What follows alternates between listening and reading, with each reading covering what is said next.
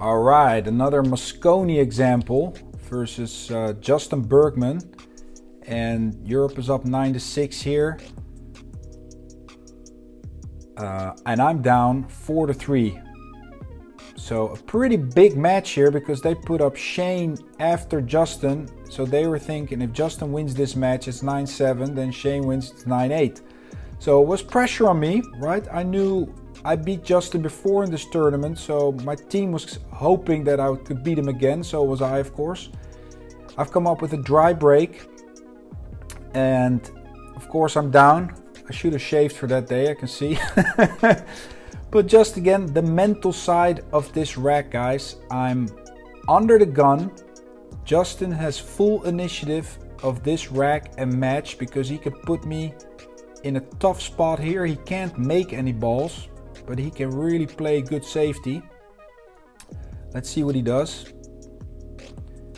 And I'm hoping for a chance and an inning at the table to do whatever I can, stick with it, and try to regain initiative.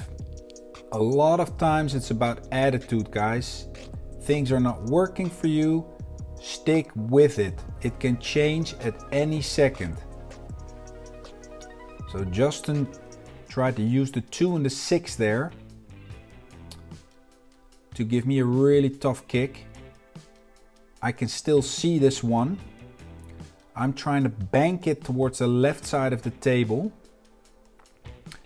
and also use the 2 and 6 as blockers. So I need to put a lot of right spin on this ball to make it past the 6 ball, otherwise it's going to hit that ball.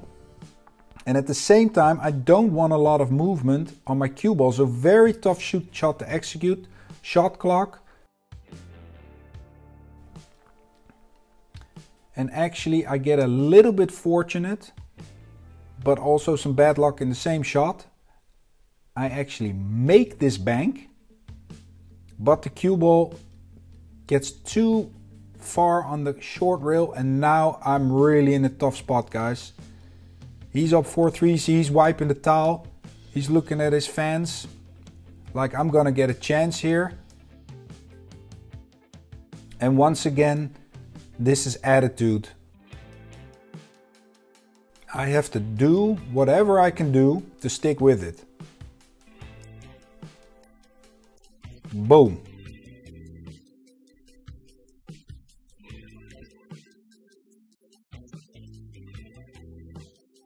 Also an example of how to deal with the shot clock. The shot clock will force you to, to let your intuition take over on occasion because if you're in trouble and there's no time, the only thing you have is your experience, your intuition, and all those years that you have played the game. So here also I have no time, I have to go. Make the three. Tough shot that was.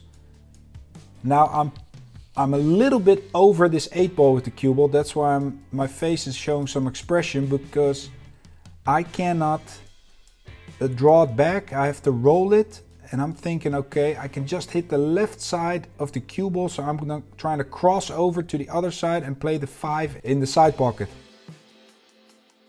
There. So again, not the greatest of angle. I have to draw the ball in cue ball has a chance to go towards the left side pocket. I still have to get in, in good line here. But mentally, I'm just letting my intuition do all the talking here. I have no more time to uh, go over some nice uh, options or anything. Now, of course, I'm in good line again and I can start breathing a little bit easier and uh, try to close it out to make it 4-4. And what you also see guys, that sometimes if you think things weren't going well, right? The other player had the initiative. Now what's happening, I'm reversing the pressure. Justin has been sitting in the chair now, looking at a couple of crazy shots. He had the initiative of this match and now it's 4-4 and the pressure's on, on him And luckily for me, he made a mistake in the final game.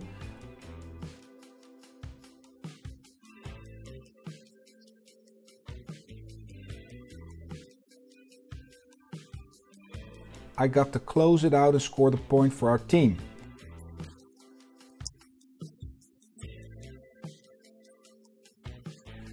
So even when things seem hopeless there for a little while, stick with it, guys. It's all about attitude. In this next example, we're looking at a match that I played against Mike Dechaine at the Mosconi Cup. It's the third match of the event. I was up on my in my first singles match of this event, and this is just an example of when you've done a lot of hard work I prepared really well for this one, and um, it's to show you the focus that I had in this game. The level of focus, that's what I want to show you. I did a lot of good, solid mental work, had a good streak of uh, meditation. I was really clear in my mind. And I just want to show you the focus that I have going through this rack. It's a little bit of a tricky rack, right? We've only played the, the five on five uh, up to this point, so we didn't get much uh, table time yet. The nerves are there. The speed of the table is still a little bit to be discovered. That's always a little bit different. Big crowds, humidity, new cloth, different table brand than the other years. And I just want to show you the focus and the reward that I give myself practically for doing the hard work before the tournament. My body's really relaxed. That's what we go through in the course, right? A relaxed body and a super sharp, focused mind. That's the combination that you need for playing your best pool. It's got to be balanced. And sometimes you're a little bit too hyped or sometimes you're a little bit too unfocused. So it's not easy to find this crystal clear balance, but when it's there, you have to cherish it. and that's what I'm doing in this rack. Right, a little bit of tricky positions. I have to get above this 5 ball to get back down for the 6 ball. And the table's so fast, I'm a little bit afraid here of just slow rolling it. So I'm going off the rail. But again, my mind's working well. You see, I see the traps. My intuition's really clicking well. And I'm five balls away from running this rack and tying up the game. Big point in the Mosconi Cup, day one. Right, I'm down 2-1 in this match, so if I don't get out here, then it's going to be 3-1 to Mike. And that could mean that USA's got their first point on the board. 2 to 1. If I do get out here, it's 2 2. Now Mike's gonna feel some pressure again. And if I can take this match, we're up 3 to 0 on day one. That's like an amazing start, of course, for a team.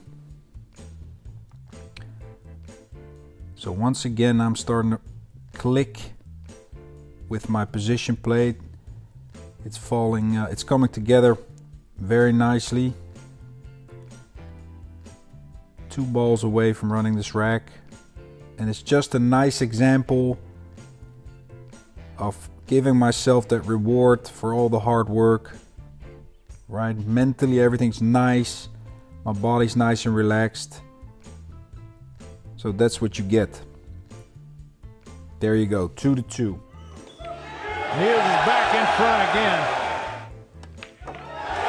It remains very bleak for America this evening.